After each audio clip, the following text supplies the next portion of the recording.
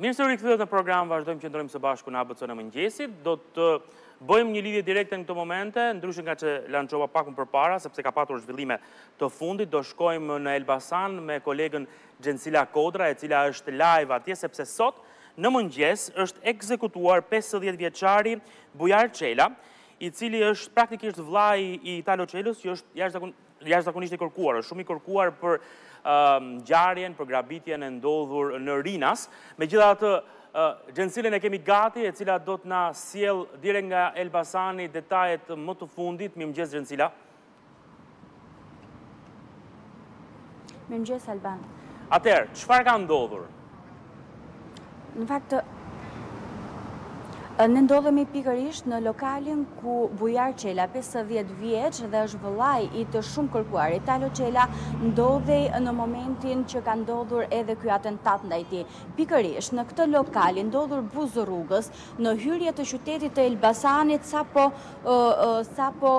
kalon rrethrrotullimin, fakt ku ndahet mes rrugës së Bradasheshit, një zonë aty ku jetonte edhe pesëdhjetë vjeçari, si zakonisht, pikërisht në këtë tavolinë, në fakt ai ishte i ulur dhe si çdo ditë pinte kafen e mëngjesit, kur persona ende të paidentifikuar kanë qëlluar me disa plumba në drejtim të tij, me disa plumba pistolete, për të cilat në fakt dyshohet se mund të jetë qëlluar me silenciator. Ai në fakt është vëllai i të shumëkërkuarit Talo Çela, një person ky me precedentë të theksuar kriminal për disa vepra penale, vijon të jetë në kërkim ndërkombëtar me masë sigurie nga ish-Gjykata e Krimeve të Rënda, në fakt për disa vepra penale, e vendosur me masë sigurie arrest me burg si vrasje e punonjësit të policisë, e kryer në bashkëpunim dhe e mbetur në tentativë, po ashtu për vjedhjen e kryer në nëntë prill në fakt të dy mijë e nëntëmbëdhjetës në pistën brenda pistës së aeroportit të Rinasit, grabitja spektakolare e milionave eurove, ndërkohë po ashtu edhe si person i dyshuar që ka lidhje me vrasjen e ndodhur të dy vëllezërve Haxhia në qytetin e Durrësit. Emri i tij në fakt doli në lidhje me këto ngjarje si si person i përfshirë apo person i dyshuar në lidhje me këto ngjarje dhe emri i tij doli në skenë nga një dëshmitar i mbrojtur i drejtësisë, i cili u arrestua menjëherë pas vrasjes së dy vëllezërve në qytetin e Durrësit. Ndërsa ditën e sotme ka qenë rreth ora gjashtë pa një çerek e mëngjesit të kësaj të enjte, kur persona ende të paidentifikuar në fakt lëviznin me një automjet të cilin në fakt me një automjet tip Renault, i cili më pas u gjet i djegur në një tjetër fshat të Elbasanit, në Murras, ndërkohë që në vendngjarje janë gjetur disa gëzhoja pistolete. Paraprakisht, në fakt, dyshohet se ngjarja ka të bëjë me të kaluarën kriminale dhe të kaluarën e errët të vëllait të tij, por gjithashtu edhe pse nuk ka precedent penal, vetë viktima e ditës së sotme, Bujar Çela në fakt po vijon ende hetimet qoftë nga ana e policisë së Tiranës apo edhe nga një grup i ngritur posaçërisht tashmë në drejtorinë e përgjithshme të policisë së shtetit, për të cilat po vijojnë hetimet nëse ka pasur apo jo konflikte me ndonjë person, edhe pse banorë të zonës apo dhe vetë pronari i këtij lokali bar kafeje të vogël në fakt i ndodhur në anë të rrugës, pohoi se nuk ka pasur të dhëna apo dijeni se viktima ka pasur konflikte apo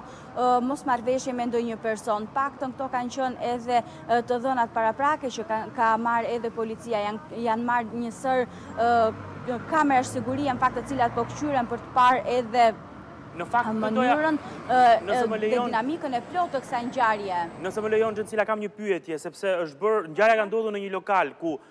rezultativisht të paktën të shkon mendja që ka pasur edhe njerëz të tjerë. E para ka të dëmtuar të tjerë, ka ndonjë njeri tjetër i cili është i plagosur apo jo dhe e dyta duhet të ketë edhe dëshmitarë okularë.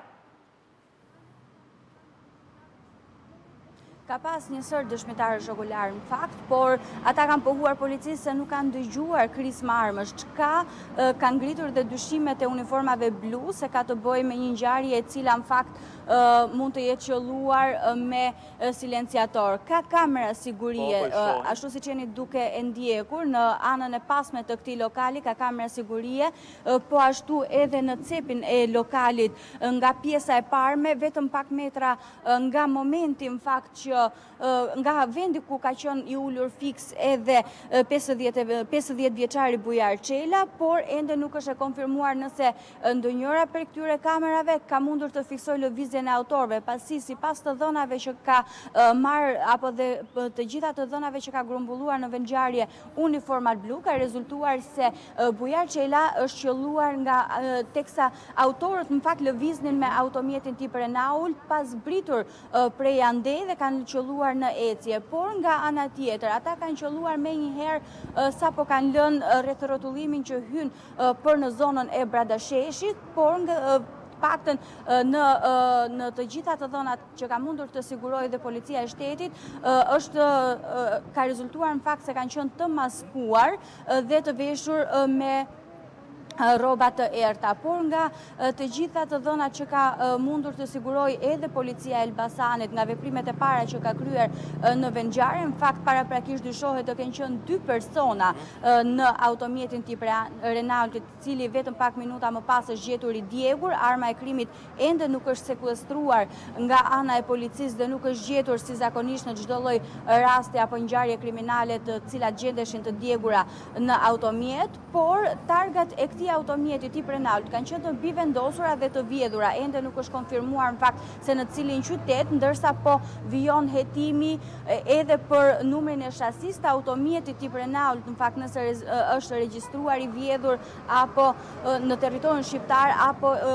numri i tij në fakt nuk rezulton në territorin shqiptar dhe dyshohet që mund të ketë qenë i trafikuar nga jashtë. Ndërkohë Alban po. mund të themi se për këtë vit, gjatë 2020-s, kjo është vrasja e katërt në fakt që ndodh në qytetin e Elbasanit, pas tre vrasjeve të tjera, konkretisht janë në datë Kryesisht, tre vrasjet e tjera kanë qenë në një hark shumë kohor, brenda pak ditësh në muajin korrik, konkretisht në njëzet korrik është vrarë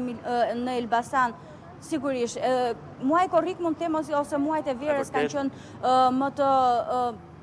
më të prekura në qytetin e Elbasanit përsa i përket ngjarjeve kriminale. Konkretisht në 20 korrik është vrarë Emiliano Ramazani dhe në 29 korrik Regis Runaj po në Elbasan i cili ka qenë edhe një nga bashkëpunëtorët që dyshohej në trafikun e drogës apo edhe si bashkëpunëtor i viktimës së parë Emiliano Ramazanit dhe vetëm një ditë më pas në fakt në njëzet korrik është vrarë Florian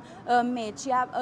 Lamçaj, ndjesë, po në Elbasan. Ndërkohë vrasja e sotme Në fakt, koinçidon mund të themi vetëm një ditë pasi ministri i Brendshëm Sandër Lleshaj, por edhe zyrtarë të lartë të policisë nga ana tjetër edhe vetë Taulant Balla kanë qenë gjatë një gjatë një takimi të, të zhvilluar ditën e djeshme në qytetin e Elbasanit, aty ku janë janë prezantuar, mund të themi, edhe uniformat e reja, apo struktura e re, në fakt, e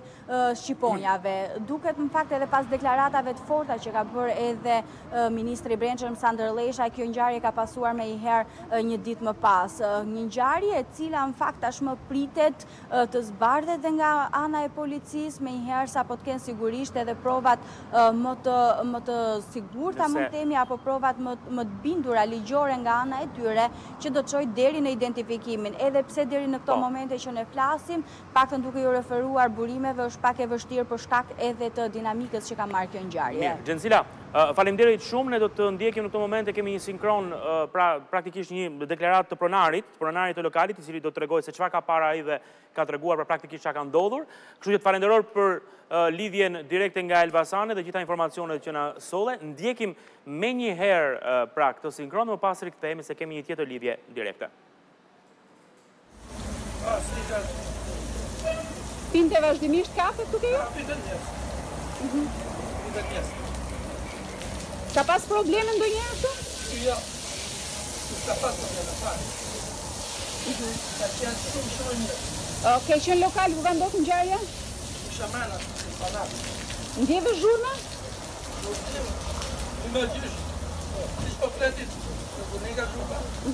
Kur dole pastaj jashtë, pe njeri?